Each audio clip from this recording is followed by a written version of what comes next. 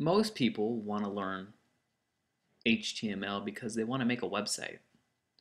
So the first thing I want to say about HTML is if you want to make a website, don't make it in pure HTML. Don't make it just in HTML. There are better options out there. If you look at my WordPress videos, it will show you how to make a modern website. And this, this is what most people use. A modern website in WordPress. Then if you know HTML, it really helps out. So you can edit the page exactly how you want to. But don't make a complete website in HTML. That's definitely the first thing I wish someone told me. Okay, the second thing I wish someone told me is HTML is just the building blocks of the web.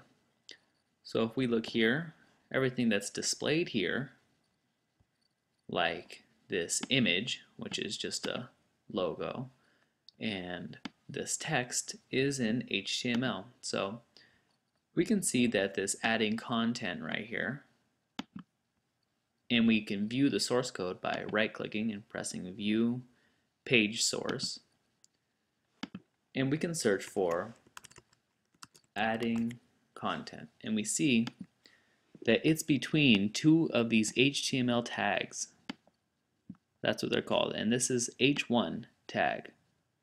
So it goes a less than sign, H1, then a greater than sign, and then in between it, it says before adding content.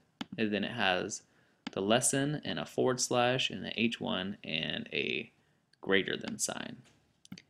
Everything between the, this right here is in the H1, which is the heading 1. If we did H2, that's a heading 2, and it would be a little bit smaller. So let's see, see before adding content. Before adding content, you see that's pretty big. And that's the H1 tag.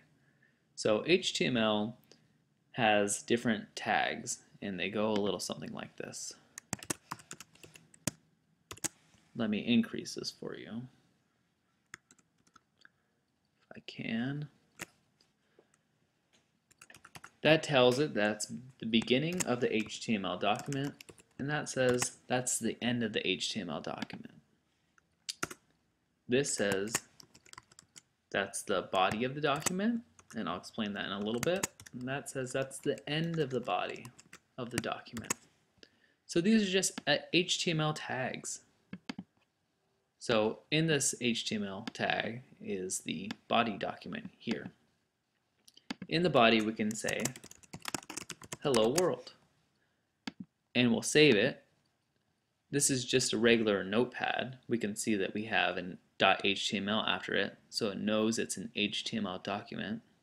By the way, HTML stands for Hypertext Markup Language. You don't really need to know or memorize that unless you want to be a computer science major. But let's see what that HTML did. Let's see what this what this does. And it says hello world. Okay, and we can view the page source. And we see that it's exactly how we made it. So this tells it it's the beginning of HTML. This says it's the body of the document, which is right here. This is the body of the document all this stuff in the body. So we can change it. There are more HTML tags that we can do. And let's do an H1 again. So this is heading 1.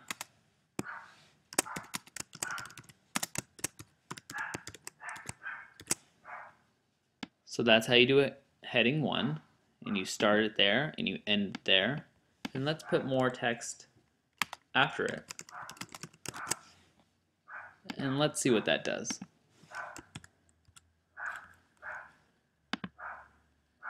So now we refresh. So that's just in the body. This is the H1, and this is after the H1. Because it wasn't in between it, it didn't affect it. So this is the start of it and this was the end of it. Because the high there was in between it, it didn't affect this. there are lots more different tags that you can do by searching Google.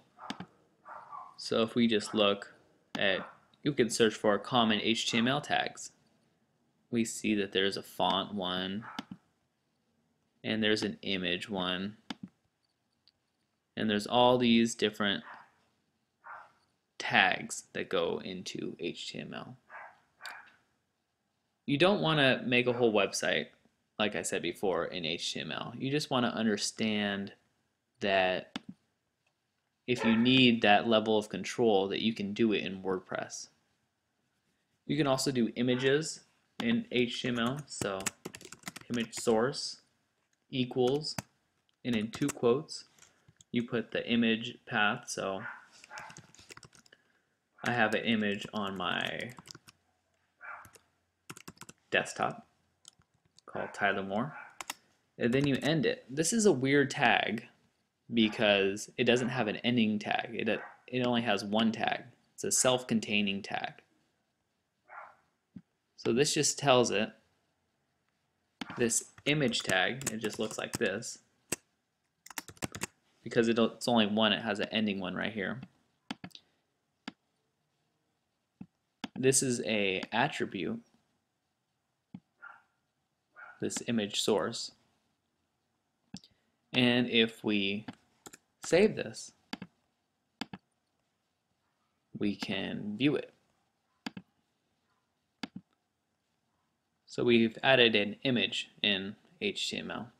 So that's the gist of it. It's really just the building blocks of the website. It's not exactly how you style it. So it's not doesn't make your website look really pretty, but it's it's the basic elements. It's a building block of your website. You can style it with something called CSS or Cascade Style Sheet. And we'll talk about that in a different tutorial. But hopefully you understand this more and uh, hopefully it helps you. Thanks a lot.